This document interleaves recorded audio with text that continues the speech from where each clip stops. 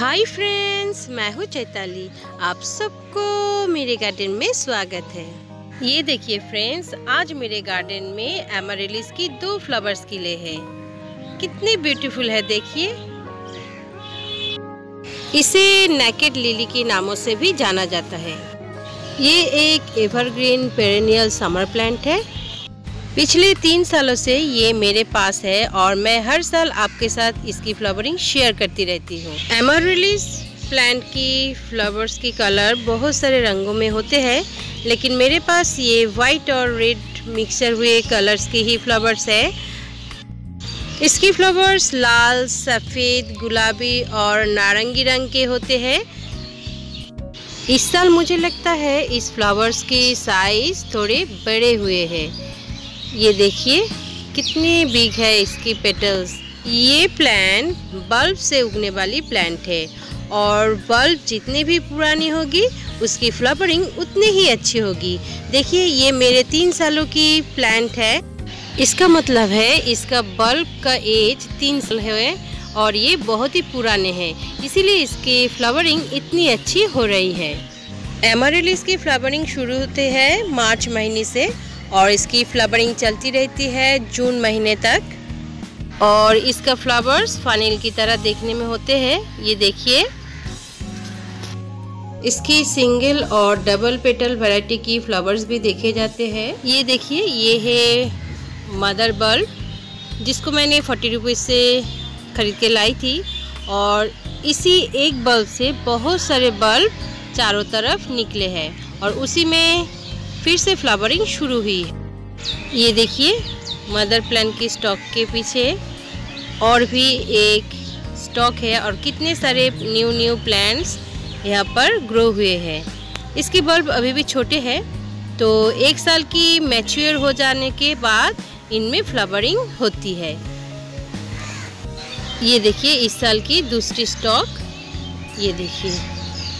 और दो तीन दिनों में ही ये फ्लावरिंग करेगी। बहुत जल्दी ही बढ़ जाते हैं ये प्लांट। और इसकी जो स्टॉक है, वो एक पाइप की तरह होते हैं। एमोरिलिस प्लांट को दिन की चार से पाँच घंटे की धूप मिलती रहे, इस बात की ख्याल रखिएगा।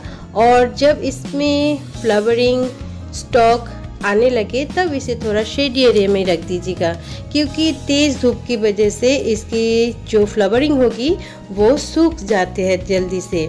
नहीं तो ये दो तीन दिन बहुत ही अच्छे तरह फ्लावरिंग प्लांट में ही रहते हैं। अब मैं एमरलिस प्लांट की वाटरिंग के बारे में बोलूँगी। एमरलिस प्लांट को ज़्यादा वाटरिंग करने की ज़रूरत नहीं होती है, क्योंकि इसके जो बल्ब होते हैं, ज़्यादा वाटरिंग करने से वो गल जाते हैं। इसीलिए जब देखेंगे पॉट की टॉप सॉयल सूख गए हैं, तभी आप इनमें वाटरिंग करेंगे। फ्लावरिंग आने से पहले मैं इस प्लांट में एक मुट्ठी करके हर वीक में बोनडास देती हूँ, क्योंकि बोनडास में फॉस्फोरस की मात्रा ज़्यादा होते हैं तो बल्ब वाली कोई भी प्लांट में फॉस्फोरस फ्लावरिंग होने के लिए बहुत ही हेल्पफुल रहते हैं। ये देखिए, मेरे रोज़े भी आ गए हैं। एमारिलिस की फ्लावरिंग देखने के लिए। ये देखिए। रोज़े हट जाओ, इस फ्लावर की कोई स्मेल नहीं होती है। ये देखने में ही बहुत ब्यूटीफुल होते हैं। अगर आप एमारिलिस की बल्ब एक बार गार्डन में लगा लेते हैं तो ये सालों साल, यानी कि 20 से लेकर 30 साल तक इसकी बल्ब चलती ही रहती है। तो ये आपके गार्डन में ज़रूर ऐड कीजिएगा।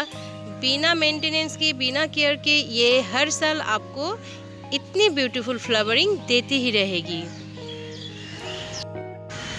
एमरिलिस प्लांट की स्टॉक में दो से लेकर छः बर्ड्स एक साथ रहते हैं। और मेरे इस स्टॉक में देखिए दो बर्ड्स है। तो ये जो स्टॉक होते हैं, ये पाइप की तरह होते हैं। फ्लावरिंग ख़त्म होने के बाद इस फ्लावर से सीड भी बनते हैं, लेकिन सीड से न्यू प्लांट ग्रो नहीं होते हैं। इसके बल्ब से ही न्यू प्लांट ग्रो होते हैं। फ्लावरिंग ख़त्म होने के बाद इस प्लांट में बहुत ज़्यादा इसकी लीव्स बनते हैं और नवंबर दिसंबर महीने में इसके लीव्स सूख जाते हैं तब सिर्फ़ बल्ब ही पड़े रहते हैं। अगर आप चाहते हैं तो फ्लावरिंग ख़त्म होने के बाद इसकी जो बल्ब होते हैं वो आपके घर में स्टोर कर अगर आप पॉट में ही। इस प्लांट को रहने देते हैं तो पॉट को लेकर गार्डन के किसी कॉर्नर में रख दीजिए अगले साल के लिए। मेरे इस टूटे हुए पॉट में ही पिछले साल से ये प्लांट है। और इस पॉट में मैंने एक बल्ब को लगाई थी तो एक से देखिए कितने सारे प्लांट्स यहाँ पर बन गए हैं। मैंने जब इस पॉट में बल्ब को लगाई थी, तब मैंने 40 percent garden soil 30 percent sand और 20 परसेंट कम्पोस्ट एक साथ मिला। तीन साल हो गए मैं इसकी रिपोर्ट नहीं की तो बहुत जल्द ही एक पॉट लाने के बाद मैं इसकी रिपोर्ट करूँगी और वो भी आप सबसे ज़रूर शेयर करूँगी। फ्रेंड्स ये वीडियो मैं दो दिन बाद की है। पहले जो मैंने स्टॉक को दिखाई थी, उसी की स्टॉक में देखिए फ्लावरिंग हुई है और ये अभी तक खिले नहीं है। मैं बर्ड को दिखाना चाहती थी, इसीलिए इसकी वीडियो आप सबको दिखा रही हुई इसमें देखिए और भी दो बर्ड्स है। इस स्टॉक में फोर फ्लावर्स ब्लूमिंग होगी।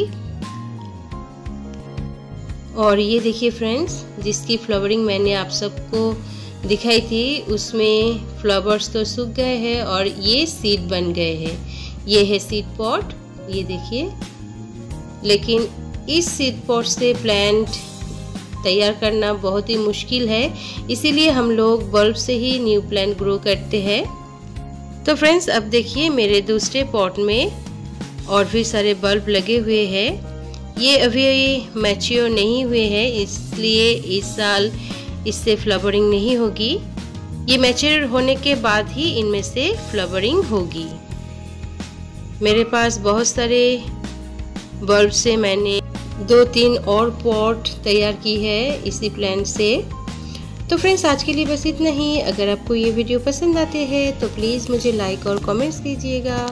और जो लोग पहली बार मेरे चैनल को देख रहे हैं वो लोग प्लीज़ प्लीज़ प्लीज़ मेरे चैनल को सब्सक्राइब कर लीजिएगा और सब्सक्राइब बटन के नीचे जो बेल आइकन है, उसे प्रेस कर दीजिएगा। और वो कर देने से मेरे जितने भी वीडियोस आगे आने वाले हैं, वो आपके पास सबसे पहले पहुँच जाएगी। वीडियो के अंत तक देखने के लिए वीक थैंक